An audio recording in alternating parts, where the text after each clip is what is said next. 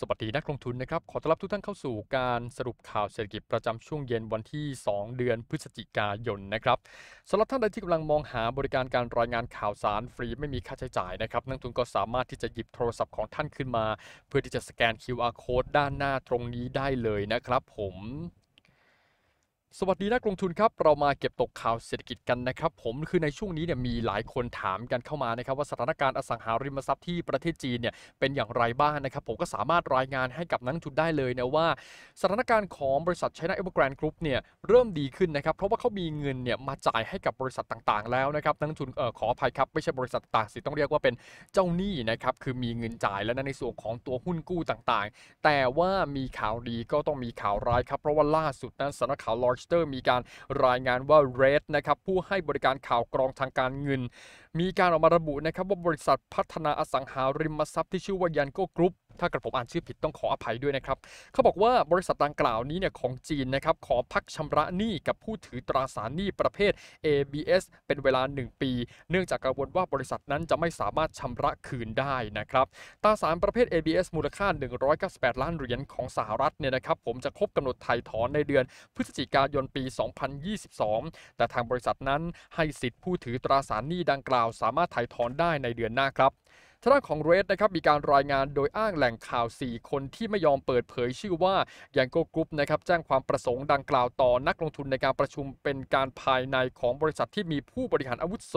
เข้าร่วมเมื่อวันศุกร์ที่ผ่านมาก็คือวันที่ 29 ตุลาคมครับรายงานของ REDD นะครับระบุอีกว่า Yango Group เนี่ยไม่มีแผนที่จะเพิ่มความน่าเชื่อถือด้านเครดิต เพื่อโน้มน้าวให้เจ้าหนี้ขยายเวลาการชำระหนี้คืนให้ และผู้บริหาร Yango Group ชี้ว่า บริษัทอาจมีปัญหาในการจ่ายเงินหากเจ้าหนี้ปฏิเสธขยายเวลาชำระหนี้คืนตามที่บริษัทร้องขอ ซึ่งไม่มีเจ้าหนี้รายใดอนุมัติข้อเสนอดังกล่าวหลังจบการประชุมครับ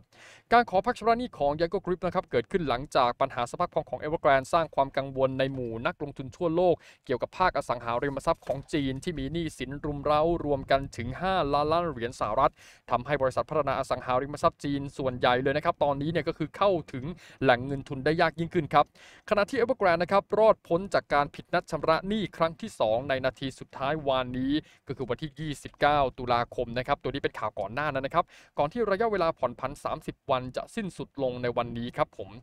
นอกจากนี้ครับข้อมูลของ l e f i n a t i v e Yanko Group นะฮะยังมีหนี้พันธบัตรสกุลเงินดอลลาร์สหรัฐที่ต้องชำระอีก 8 ฉบับรวมมูลค่า